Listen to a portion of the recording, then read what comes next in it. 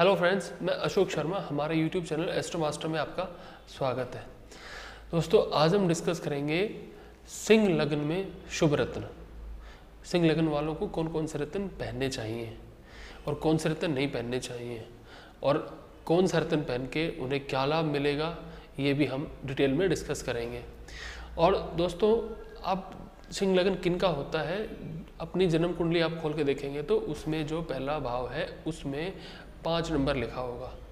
पाँच नंबर का मतलब होता है सिंह राशि होती है। और यहाँ पास है तो सिंह लगन बन गया, लगन कुंडली में लगन बन गया।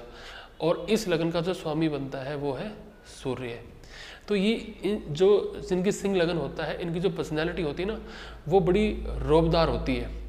उनका सीना भी चौड़ा होता है, चेहरा उनका माथा है, वो भी थोड़ा चौड़ा मिलेगा, वो सर उठा के चलेंगे, ज़्यादा इगोइस्टिक होते हैं सेल्फ डिसिप्लिन में रहेंगे, वो उन लोगों को न्याय पसंद होता है, सुख शांति चाहिए, सब कुछ अनुशासन में चाहिए, और दूसरा क्या है, समाज में एक लीडरशिप क्वालिटी लेके आते हैं लोग, समाज को लीड करते हैं, हर चीज़ में इनिशिएटिव लेते हैं, सच के साथ खड़े होते हैं, हिम्मत होती है, ये निडर होते हैं, किसी से नहीं डरते हैं।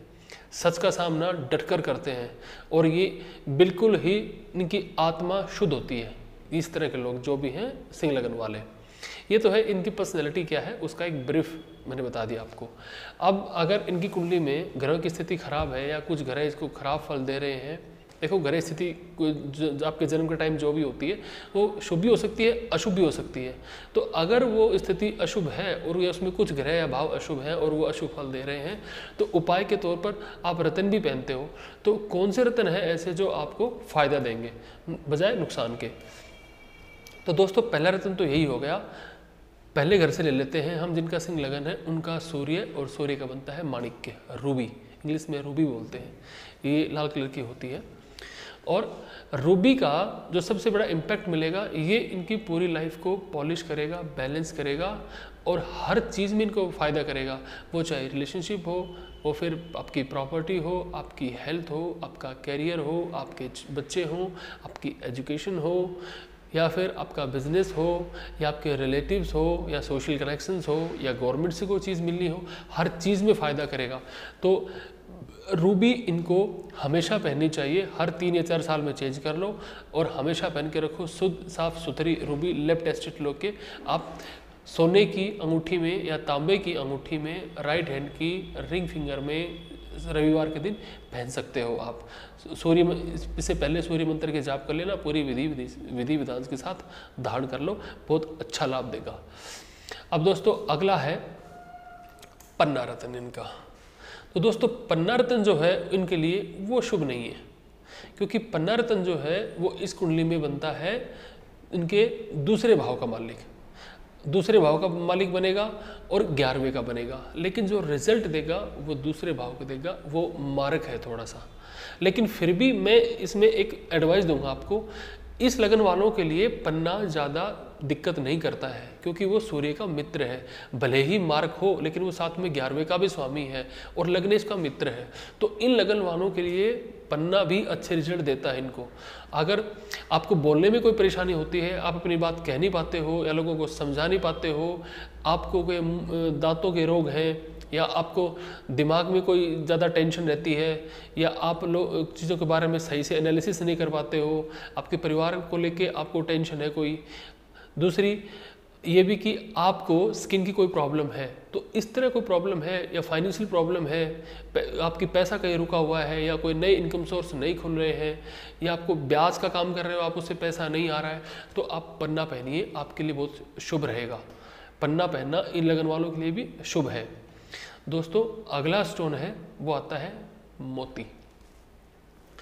चंद्रमा इस लगन में बारहवें घर का स्वामी बनेगा, जो कि दुष्ट भाव है। वो हॉरोस्कोप में अशुभ घर माना जाता है। वहाँ पे चंद्रमा बैठ के भले ही सूर्य का मित्र है, लग्नेश का मित्र होने के बावजूद भी आप वो नहीं पहन सकते। मैं रिकमेंड करूँगा, आप नहीं पहनिए। फिर भी अगर घरों की स्थिति कुछ बनती है तो एस्ट्रोलॉजर या ज्योतिष आपको रिकमेंड करता है तो आप पहन भी सकते हैं, एक ऑप्शन खोला है। बाकी थोड़ी सी गहराई स्थिति शुभ हो तो चंद्रमा की महादशा में आप इसे धारण कर सकते हैं। वह राशि में है उच्च की राशि में बैठता है तो फिर आप कर सकते हो। तो ऐसी स्थिति में चंद्रमा का मोती धारण कर लो तो आपको मानसिक शांति मिलेगी, आपकी बीमारियाँ ठीक होंगी, आपके शत्रु कमज़ोर हो जाएँगे, आपके माता के साथ आपके संबंध सुधरेंगे, आपको भूमि मकान वाहन से फ़ायदा मिलेगा आपको अच्छी नींद आएगी, आपकी चिंताएँ कम होंगी। अगर आप मोती चंद्रमा की माता हम पहनते हो तो ये लाभ मिलेगा, लेकिन इसमें आपको पहले कंसल्ट करना पड़ेगा एस्ट्रोलजर से, उसके बाद ही पहनना, ऐसे मत पहनना। दोस्तों, अब अगला रतन जो है, वो इन लोगों के लिए आता है मूँगा। दोस्तों, मूँगा इस रतन वालों के लिए शुभ है। मूँगा इस लगन वालों के लिए बहुत ही शुभ माना जाएगा, मेरे अकॉर्डिंग क्योंकि इसमें एक तो भाग्य का कारक बन रहा है वो। भाग्य का कारक बनेगा तो क्या है, आपको जो किस्मत से जुड़ी चीज़ें हैं, उन सभी चीज़ों में ये आपको लाभ देगा। और अब एक तो भाग्य का भी वो बन गया, और दूसरा चौथे भाव का स्वामी बन गया। आपके सुख सुविधाओं का, जीवन में ऐश्वर्य का भोग विलास का, इनका भी कारक ग्रह बन गया है। माता के साथ संबंधों का, कार्य में, व्यापार में, काम में, धंधे में और सोसाइटी से जो आपकी रिकॉग्निशन मिलती है, उसमें या आप जॉब में काम करते हो तो जॉब में जो आपकी एक आइडेंटिटी है, आपका एक परफॉर्मेंस है, आपकी जो लाइजनिंग है टीम वर्क है, पूरा मैनेजमेंट है, उसकी तरफ़ से भी आपको मंगल की तरफ़ से अच्छे रिज़ल्ट देखने को मिलेंगे। तो मेरी एडवाइस रहेगी, आपको मूँगा ज़रूर पहनना चाहिए, इस लगन वालों के लिए मूँगा शुभ है। अब दोस्तों, अगला रतन आता है नीलम। नीलम इन रतन इन लगन वालों को कभी नहीं पहनना चाहिए। क्योंकि नीलम जब पहनोगे आप तो सबसे बड़ी जो दिक्कत आएगी, वो ये आएगी कि ये दुष्ट भाव का स्वामी बनेगा और मार्ग भाव का स्वामी बनेगा। सातवें का और आठवें का बनेगा। अब सात आठ में सातवां वैसे कुंडली मार्ग भाव है, शनि सूर्य का मित्र भी है तो वो प्रॉब्लम ज़बरदस्त बढ़ा देगा। आपको हेल्थ की सीरियस प्रॉब्लम्स हो सकती हैं, आपके बिज़नेस को में नुकसान हो सकता है, आपका पार्टनर के साथ आपका धोखा हो सकता है, आप बिज़नेस लॉस कर सकते हैं। आपका सबसे बड़ी बात क्या है, आपकी कोई बड़ा पैसा को रुका हुआ था, आने वाला था, उसमें फिर प्रॉब्लम आ सकती है। आपने कोई इन्वेस्टमेंट किया था, जिस पर आप रिटर्न एक्सपेक्ट कर रहे थे, उसमें भी प्रॉब्लम हो सकती है। तो आप ऐसी चीज़ ना करें, बीमे का जो पैसा अटका था, वो भी वहाँ पर अटक सकता है। जो गुप्त शत्रु है, जो आपके पीठ पीछे आपके, आपको नुकसान पहुँचाने का काम करते हैं, वो लोग आप पे हावी हो जाएँगे। तो नीलम तो आप इस लगन वाले गलती से भी ना पहने, इसको अवॉइड ही करें। दोस्तों, अगला जो रतन बनता है इसमें, वो आप लहसुनिया भी पहन सकते हैं। वो कुंडली में बाकी ग्रह स्थिति और केतु की स्थिति के बाद आप ज्योतिष से सलाह करके निर्णय ले सकते हैं कि पहनना चाहिए या नहीं पहनना चाहिए। और दोस्तों, अगला जो है, रत्न है, वो है शुक्र का हीरा, या सफ़ेद पुखराज या ओपल। ये भी आपको नहीं पहनना चाहिए।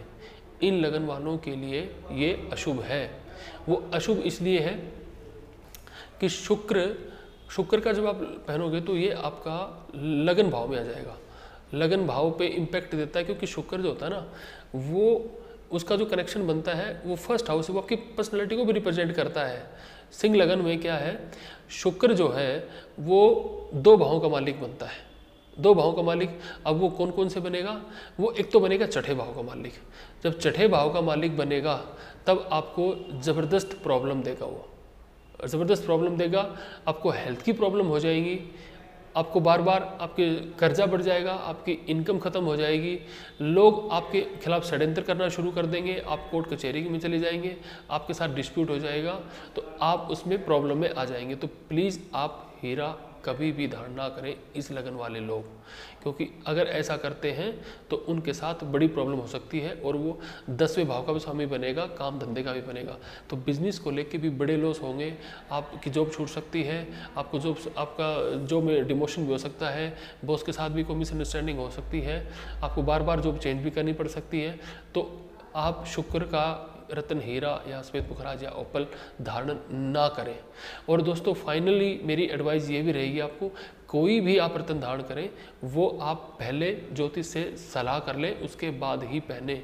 इस लगन वाले आप माणिक्य पहन सकते हैं, पन्ना भी पहन सकते हैं पुखराज भी पहन सकते हैं, और आप, ये दूसरा जो रतन है, वो चाहे तो शुक्र का हो या शनि का हो या बुध का हो।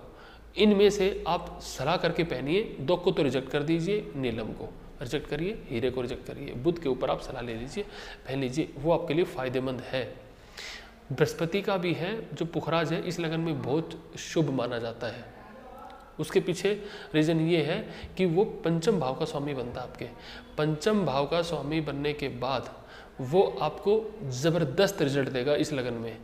क्योंकि पंचमेश में आपकी आयु बढ़ाएगा, बुद्धि बढ़ाएगा, आपकी शिक्षा में आपको देगा, आपको लोगों में मान सम्मान बढ़ाएगा, आपको, आपके लव अफेयर्स बढ़ाएगा, आपका रोमांस बढ़ाएगा लाइफ में, आपकी एनालिसिस की पावर को बढ़ाएगा, आपके बच्चों की तरफ़ से आपको, बच्चों को बीमार रहते हैं या फिर बच्चे नहीं हो रहे हैं या डिले हो रहा है, ये उनमें फ़ायदा करेगा, आपकी एम्बिशंस हैं, ये उनको पूरा करेगा, आपके सपनों को पूरा करने में ये बहुत ज़्यादा रोल प्ले करेगा। तो दोस्तों, आप चाहे तो आप ये पुखराज भी ज़रूर धारण करें। ठीक है दोस्तों, हमारा वीडियो आपको कैसा लगा? अगर पसंद आया तो प्लीज़ आपसे लाइक शेयर कमेंट सब्सक्राइब ज़रूर करें ताकि इस तरह की वीडियो जब भी अपलोड हो, आपको नोटिफिकेशन आ जाए और आप ऐसे वीडियो को एंजॉय कर सकें। Thank you